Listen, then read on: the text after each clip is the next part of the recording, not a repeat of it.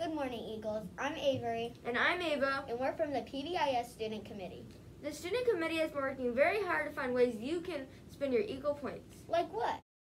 First, we have the Cocoa Cafe, What's the Cocoa Cafe? where you and a friend can go into the cafeteria and sip some hot chocolate during advisory.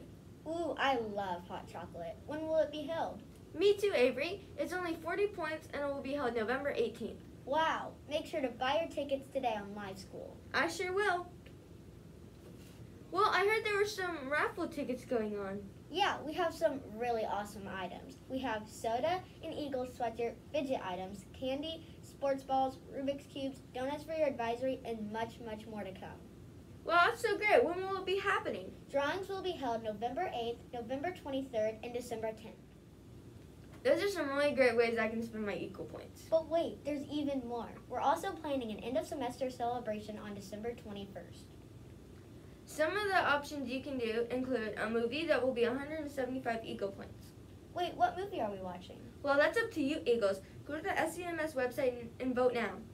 If you don't want to watch a movie, that's perfectly fine because we also have a dodgeball tournament worth 100 Eagle points. Your ticket will get you one 45 minute session with your grade level. Not up to those, we also have e-games, also known as Wii Sports. 75 Eagle points. Your ticket will get one 45 minute session. We also have board games if you just want to keep it classic. There are 75 Eagle points and your ticket will get you one 45 minute session. Snacks will also be able to be purchased with real money. What are some other ways we can get Eagle points, Ava? Good question, Avery.